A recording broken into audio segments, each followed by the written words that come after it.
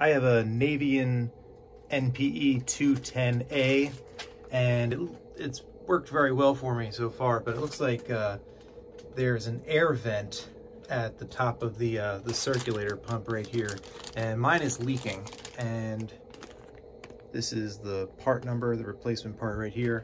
I'm gonna see if I can replace that. I'm not a plumber, but I think I can do this myself. So I'm gonna start by turning off the machine. I'll also unplug it just in case. Shut off the water coming in. Shut off the water, the cold water to the unit. I'll shut off the hot water going out of the unit. I'm also gonna shut off the gas too. And I'm gonna open up uh, this drain port right here to drain it. Pretty sure I'll, I'll have to do that um, because that there's obviously water coming out of there. Then I'll pick up the video after that. So I opened up the drain port underneath uh, here. And then I also have a hose hooked up to a bucket to the service port on the cold water side. I'm gonna open that up and drain everything out. All right, hopefully you can see what I'm doing. I'm trying to do this in real time. So I kind of put a towel in here, expecting some of this water to come out. And I think I just have to take these channel locks and unscrew this, the top of this vent. Okay. That seemed pretty easy. Let's take that off. Okay. Do I have to pull this bar out to do that? I don't know. Can I just kind of muscle it out of the way? We'll see. Yeah. Okay. So that came off. Yeah, with the vent cap off, it lets water, you know, it's like letting your finger off the top of the straw. It lets the water run out of that service port into the bucket. So uh, what I'll do is I'll dry this off and I think I can just replace it.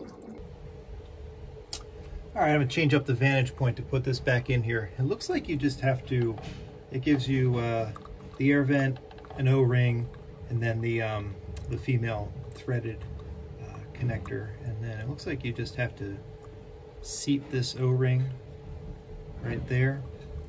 Then I'm gonna put the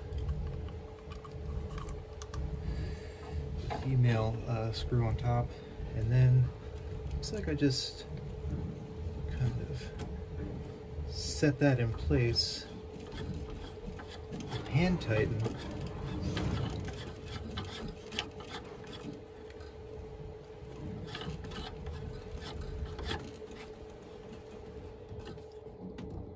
Okay that's hand tight. Now let's just tighten this down with the channel locks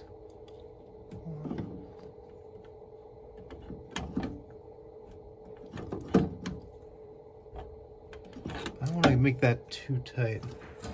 So I'll leave that there and I will reverse my steps and see if I have any leaks and if I need to tighten it, I will. All right, I reversed my steps and there are no leaks. Turn the gas back on, hot water valve open, cold water valve open, service port closed, plug back in, turn back on, main cold water feed uh, open. And when I filled this unit, it did separate out the air, so it seems like that worked. Uh, it did drip onto the low voltage wire right here. It corroded the connection to the harness, so I have this part coming as a replacement. Uh, that connects to the thermistor that's in the hot water outlet on the hot water side of the circulator. And this seems like it'll be a simple replacement too. I'll do another video on that. The hardest part of this replacement was really cleaning out the water uh, in between all the little parts at the base of the cabinet. Otherwise, it was very simple repair. Uh, I'm not a plumber, but this was uh, easy enough to tackle.